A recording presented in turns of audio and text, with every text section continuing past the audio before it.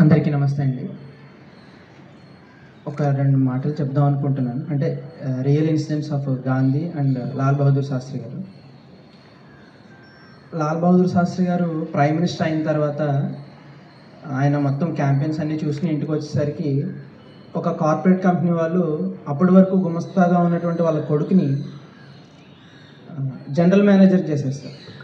General manager చేస్తే వెంటనే లాల్ బహదూర్ శాస్త్రి గారు ఇంటికి వచ్చిన తర్వాత వైఫ్ని పిలిచి అబ్బాయిని పిలువు అని చెప్పేసి అంటే నువ్వు అర్జెంటుగా ఆ జాబ్కి రిజైన్ చేసే లేదా నేను ప్రైమ్ మినిస్టర్ జాబ్కి రిజైన్ చేసేస్తాను.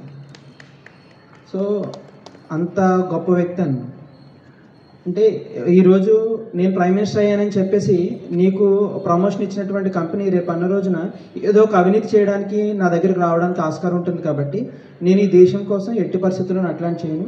ఇది ఎంతోమంది భవిష్యత్తు కాబట్టి నువ్వు దానికి రాజీనామా అన్న చేసి లేదంటే నేను నా పోస్ట్ రాజీనామా చేసేస్తాను చెప్పినటువంటి ఒక గొప్ప క్యారెక్టర్.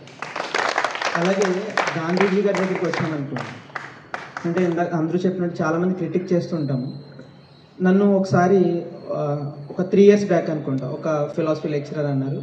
గాంధీజీ గాంధీజీ అనే వ్యక్తి చేతిలో భగవద్గీత పట్టుకుంటారు అహింస అంటారు. భగవద్గీత ఏమో యుద్ధం చేయమంటుంది ఈయనేమో అహింస అంటారని చెప్పేసి.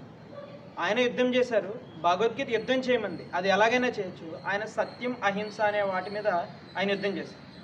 Thanks for watching for more videos subscribe arts college Rajahmundry YouTube channel